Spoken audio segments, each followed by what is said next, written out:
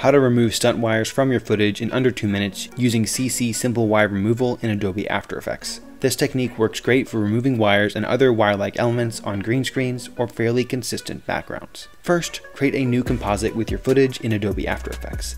Navigate to the Effects and Presets panel on the right side of the interface and search for CC Simple Wire Removal.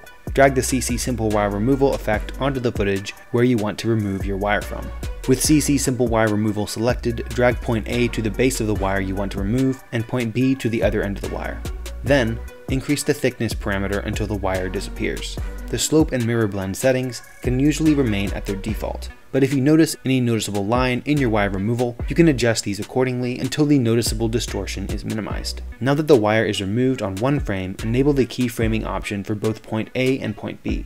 Now go throughout your footage and realign point A and point B to the start and end of the wire. This can be tedious, but if you start by adding the keyframes that will be furthest away from each other on the timeline, After Effects will interpolate the movement of the wire removal and do a lot of the work for you. At this point, you are done removing your wire. Play through your footage and check for any issues or distortion that you need to overlay any plate data back onto in another layer.